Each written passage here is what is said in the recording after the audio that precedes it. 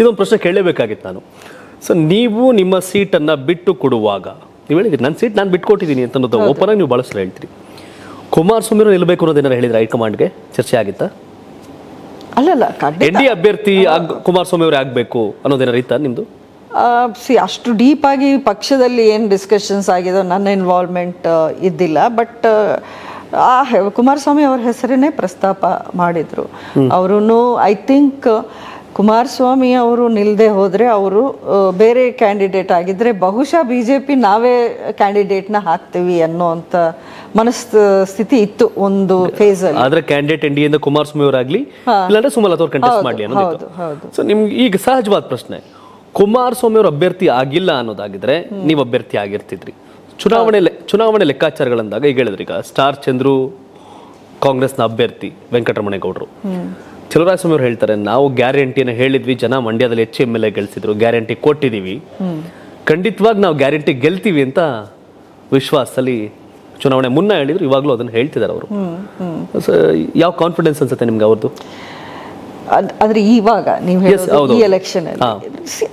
ಪಕ್ಷದ ಪರವಾಗಿ ಅವರವರ ನಾಯಕರು ಮಾತಾಡಲೇಬೇಕು, ಮಾತಾಡ್ತಾರೆ. ಒಳೊಳಗೆ ಅವ್ರಿಗೂ ಒಂದಷ್ಟು ಆತಂಕ, ಭಯ ಇದ್ರೂ ಅದನ್ನು ಅವರು ಎಕ್ಸ್ಪ್ರೆಸ್ ಮಾಡ್ಕೊಳ್ಳೋಕ್ಕೆ ಸಾಧ್ಯ ಇಲ್ಲ.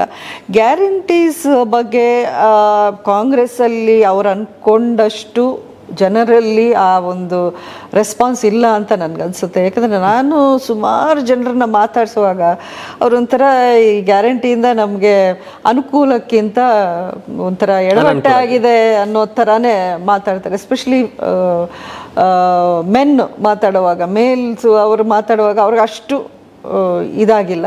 ಮೇ ಬಿ ವಿಮೆನಲ್ಲಿ ಈ ಟೂ ತೌಸಂಡ್ ಅನ್ನೋದು ಅದರಲ್ಲಿ ಪರಿಣಾಮನೇ ಇಲ್ಲ ಅಂತ ಹೇಳಿದ್ರೆ ಸುಳ್ಳಾಗತ್ತೆ. ಅಫ್ಕೋರ್ಸ್ ಅದರ ಒಂದು ಎಫೆಕ್ಟು ಇಂಪ್ಯಾಕ್ಟು ಎಲ್ಲೋ ಒಂದು ಕಡೆ ನಾವು ಅಸೆಂಬ್ಲಿ ಎಲೆಕ್ಷನಲ್ಲೇ ನೋಡಿದ್ವಿ. ಇದರಲ್ಲೂ ಒಂದು ವೇಳೆ ಆ ಆ ಲೆಕ್ಕಾಚಾರ ತಗೊಂಡ್ರೆ ಒಂದು ಪ್ಲಸ್ ಅವ್ರಿಗೆ ಆಗ್ಬೋದೇನೋ.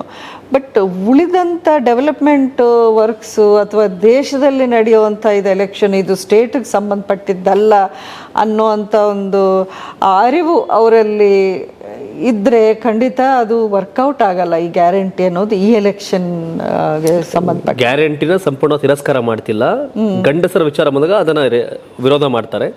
ಹೆಣ್ಮಕ್ಳು ಅಲ್ಪ ಸ್ವಲ್ಪ ಆ ವಿಷಯನ ಒಪ್ಪಿದ್ದಾರೆ. ಆದ್ರೆ ಲೋಕಸಭೆ ಅನ್ನೋ ಕಾರಣಕ್ಕೆ ಇದು ದೇಶದ ವಿಷಯದಲ್ಲಿ ಚರ್ಚೆ ಮಾಡಿ ಜನ ಓಟ್ ಹಾಕ್ತಾರೆ ಅನ್ನೋದು ಹೇಳ್ತಿದ್ರಿ